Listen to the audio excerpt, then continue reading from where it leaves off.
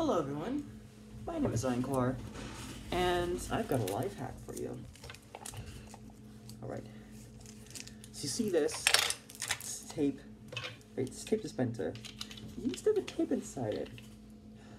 Now, if you ever have a tape, uh, some tape like this, and like dirt and grime gets into that because you're carrying it around for some reason, then you can just use one of these, right? Because like nothing, nothing can get it, especially if it's double-sided tape, which I accidentally bought. Now I know what you're wondering, why are you making goddamn life hack videos? Shut up, alright? You try making a YouTube channel and coming up with stuff. It's hard, okay?